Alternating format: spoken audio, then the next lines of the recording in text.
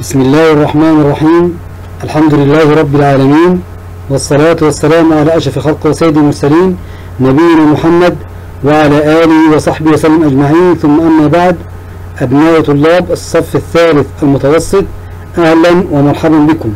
ومع درس جديد وتفسير سورة الحجرات نستمع الآن إلى الآية السادسة والسابعة والثامنة من السورة.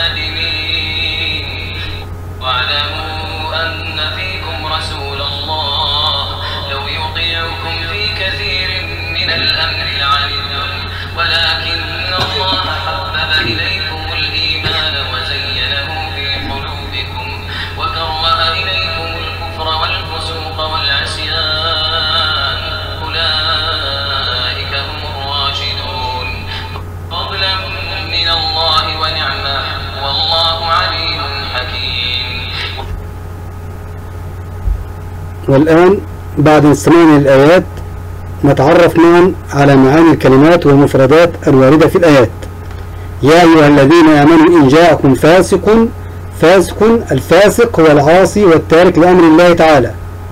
فتبينوا فتبينوا يعني تثبتوا فتثبتوا فتبينوا أن تصيبوا قوما بجهالة.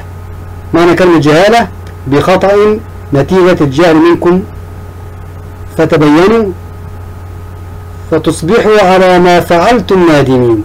فتصبحوا على ما فعلتم نادمين. أيضا واعلموا أن فيكم رسول الله لو يطيعكم في كثير من الأمر لعنتم عنتم العنت وهو المشقة. أيضا إن جاءكم فاسق بنبأ. كلمة نبأ يا أبطال يعني إيه؟ بخبر. أن تصيبوا بمعنى حتى لا تنالوا من قوم وهم إيه؟ براء مما قلتم فيهم أيضا كلمة لو يطيعكم في كثير من الأمر لو يعمل بآرائكم أو كما ترغبون. كلمة الراشدون أولئك هم الراشدون بمعنى المهتدون إلى محاسن الأمور. ننتقل الآن يا شباب إلى التفسير وفوائد الآيات كما وردت في هذه الآيات. خص الله سبحانه وتعالى المؤمنين في خطابه لهم يا أيها الذين آمنوا بأن يتبينوا إذا جاءهم بأن إذا جاءهم فاسق بأي خبر أن يتبينوا من حقيقة هذا الأمر. حتى لا يصبحوا بعد ذلك نادمين على ما فعلوا وعلى ما أقروا في أنفسهم. من فوائد هذه الآية يا أبطال وجوب الاحتياط في أخذ الخبر وتناقله بين المسلمين التأكد من أن صاحب الخبر معروف الصدق بين الناس وغير فاسق ولا كاذب. انتقلوا معي إلى فكر. كيف يتعامل المسلم مع الإشاعات التي يسمعها؟ وبما ينصح من ينقل مثل هذه الإشاعات؟ بما ننصحه. أولا أخذ الحيطة في أخذ الخبر بين المسلمين. ثانيا التأكد من أن صاحب الخبر معروف بين الناس وهو غير فاسق ولا كذاب. والآن مع التقويم بين معاني الكلمات الآتية. كلمة فاسق. أحسنتم. فاسق بمعنى غير عادل. كلمة بجهالة. بجهالة بخطأ نتيجة نتيجة إيه؟ جهلكم. أحسنتم. لعنتم. ما المقصود بالعنت؟ أحسنتم. هو المشقة.